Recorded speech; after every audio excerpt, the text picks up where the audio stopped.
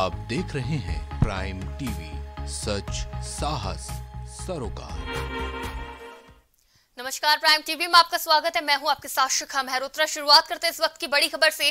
अयोध्या से इस वक्त की बड़ी खबर सामने आ रही है, जो गड्ढों को लेकर दो पक्षों में विवाद हो गया। बड़ी खबर सामने आ रही है अयोध्या से। गड्ढे की ज़मीन को लेकर दो पक्षों में मारपीट। दो पक्षों की मारपीट में एक की मौत। मारपीट में एक की हुई मौत, दो लोग घायल।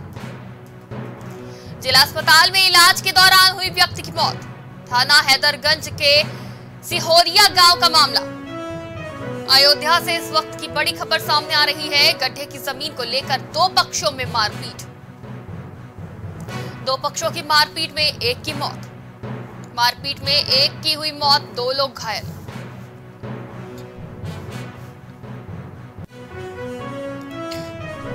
रायबरेली ज़िले में फिर फूटा कोरोना बॉम्ब एम्स की स्टाफ नर्स सहित छह लोग कोरोना संक्रमित। एक साथ छह मरीज़ मिले। मिलने से स्वास्थ्य विभाग में हड़कंप, सभी मरीजों को होम आइसोलेशन में रखा गया। रायबरेली ज़िले में फिर फूटा कोरोना बॉम्ब रायबरेली से बड़ी खबर सामने आ रही है। एम्स की स्टाफ नर्स सहित छह लोग कोरोना संक्रमित। एक साथ छह मरीज़ मिलने से स्वास्थ्य विभाग में हड़कंप। सभी मरीजों को होम आइसोलेशन में रखा गया।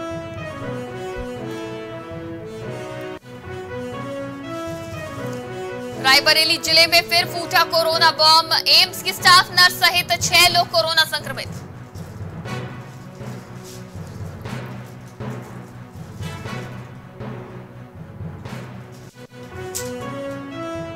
संभल से इस वक्त की बड़ी खबर सामने आ रही है। आज संभल आएँगे एआईएमआईएम के अध्यक्ष असदुद्दीन ओवैसी।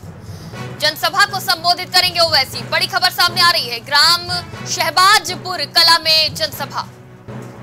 दोपहर एक बजे करेंगे जनसभा को संबोधित। असमोली प्रत्याशी शकील अहमद के लिए जाएँगे। संभल से इस वक्त की बड़ी खबर सामने आ रही है। आज संभल आएँगे एआईएमआईएम के अध्यक्ष असदुद्दीन ओवैसी। जनसभा को संबोधित करेंगे ओवैसी। बड़ी खबर सामने आ रही है। ग्राम शहबाजपुर कला में करेंगे जनसभा। दोपहर एक बजे जनसभा में पहुँचेंगे ओवैसी। असमोली प्रत्याशी शकील अहमद संभल से इस वक्त की बड़ी खबर सामने आ रही है। एआईएमआईएम अध्यक्ष असदुद्दीन ओवैसी आज संभल जाएँगे, बड़ी खबर सामने आ रही है। जनसभा को संबोधित करेंगे ओवैसी।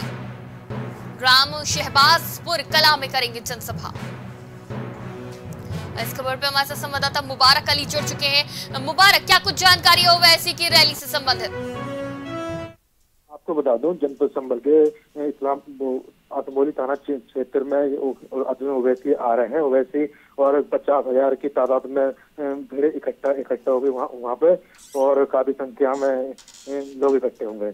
जी तो आज अपने संबोधन के दौरान क्या कुछ कह सकते हैं ओवैसी? लगातार वो सरकार पर विपक्ष पर निशाना साधते हुए नज़र आते हैं तो आज क्या कुछ कह सकते हैं? देखो यहाँ पर कहेंगे, जैसे मुस्लिम क्षेत्र के रह गए और और सौ सीटों पे वो चुनाव लड़ रहे हैं तो ओवै- ओवैसी और और देखने वाली बात इनकी होगी और अखिलेश यादव पे और और सीएम योगी पे कड़ा निशाना साधेंगे। जी, असदुद्दीन ओवैसी की जनसभा में कितने लोगों के जुटने की संभावना है? पचास हज़ार लोगों की सूत्रों की माने तो पचास हज़ार लोगों की की संभावना है। जी बिल्कुल, बहुत बहुत शुक्रिया हमारे साथ जुड़ने के लिए और तमाम जानकारी के लिए। इस खबर पर हमारे संवाददाता मुबारक अली जुड़े थे।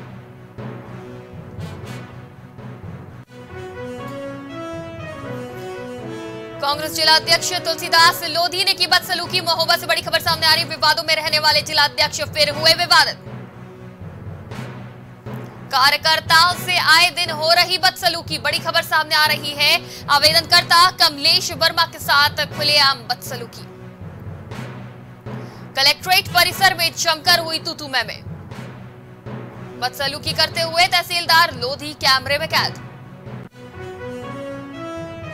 महोबा से बड़ी खबर सामने आ रही। कांग्रेस जिला अध्यक्ष तुलसीदास लोधी ने की बदसलूकी। विवादों में रहने वाले जिला अध्यक्ष फिर से विवादों में। कार्यकर्ताओं से आए दिन हो रही बदसलूकी। बड़ी खबर सामने आ रही है। आवेदनकर्ता कमलेश वर्मा के साथ खुलेआम बदसलूकी। कलेक्ट्रेट परिसर में जमकर हुई तूतू में बड़ी खबर सामने आ रही है, जहाँ बदसलूकी करते हुए तुलसीदास लोधी कैमरे में हुए कैद।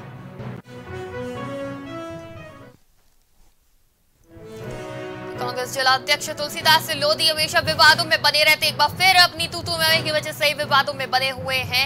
तस्वीरें भी सामने आई है। कार्यकर्ताओं से आए दिन बदसलूकी की खबरें भी सामने आ रही है। और आवेदनकर्ता कमलेश वर्मा के साथ खुलेआम बदसलूकी करते नज़र आए। बड़ी खबर सामने आ रही है। कलेक्ट्रेट परिसर में जमकर तूतू में हुई। और इस खबर में हमारे साथ संवाददाता दिलीप जुड़ चुके हैं। दिलीप, क्या कुछ जानकारी किस वजह से हुई है तूतू में?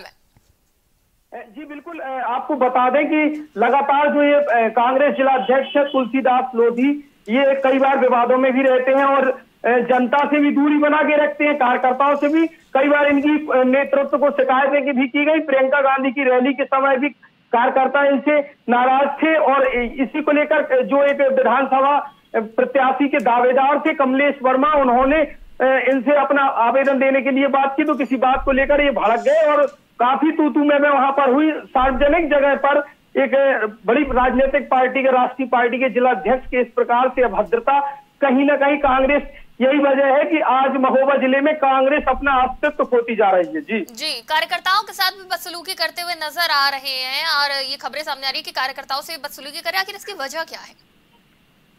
ये जो कांग्रेस जिला अध्यक्ष है, इनका कभी ना कोई कार्यकर्ताओं से कोई सरोकार रखते हैं, ना ये जनता के बीच में जाते हैं, ना संगठन से इनको कोई मतलब है। कई बार उच्च जो इनके नेतृत्व है, उनसे शिकायतें भी इसी बात को लेकर की गई। लेकिन कहीं ना कहीं कांग्रेस द्वारा अपने जिलाध्यक्ष इस प्रकार के विवादित और कार्यकर्ताओं से दूरी बनाने वाले जिलाध्यक्ष को अभी तक रखना कांग्रेस के लिए एक आने वाले चुनावों में बड़ा नुकसानदायक साबित हो सकता है। जी बिल्कुल। तो अब क्या इसकी शिकायत करी गई? जिस तरह की तस्वीरें सामने आई हैं तो इसके बाद कोई शिकायत करी गई है इनकी? कार्यकर्ताओं से हमने बात करने का जिनसे प्रयास किया हालाँकि उन, उन्होंने कैमरे पे बोलने से इनकार कर दिया लेकिन उनका साफ़ तौर पर ये कहना था कि जो शीर्ष नेतृत्व प्रदेश नेतृत्व है उनसे इनकी शिकायत की जाएगी। प्रियंका गांधी की जब रैली हुई थी उसके पहले भी राष्ट्रीय सचिव है उनके प्रियंका जी की टीम के वो आए थे उनसे भी लोगों ने कांग्रेस जिलाध्यक्ष के सामने ही शिकायतें की थी और कहा था कि ये जनता के बीच में नहीं रहती। जी बिल्कुल। बहुत बहुत शुक्रिया हमारे साथ जुड़ने के लिए और जानकारी देने के लिए। इस खबर पर हमारे संवाददाता दिलीप जुड़े थे।